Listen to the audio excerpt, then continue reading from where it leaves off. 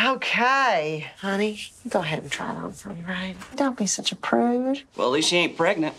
Are you, honey? Class, this is Margot Richmond, all the way from Kansas City. Well, if it ain't all a stinky draw. Come on, Mike, do it. Is she in the right position now, Mackie? Oh, Jesus, H. Christ! Move it! Get in! Are you okay?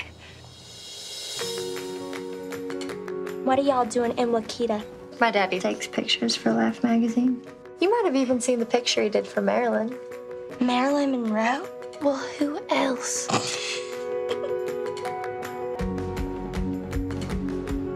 Who's Maggie? My friend. You wish people would like you? I don't care if people like me. It doesn't matter if I change my hair. I'm still the same girl I always was. I'm gonna be with you the whole time.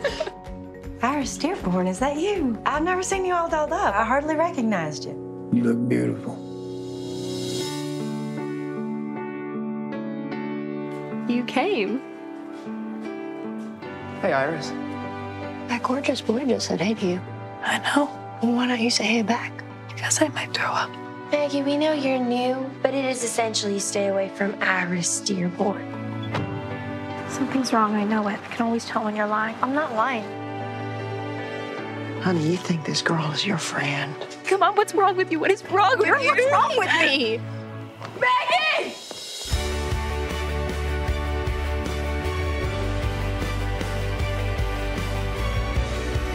You're the only girl in this town who's not phony.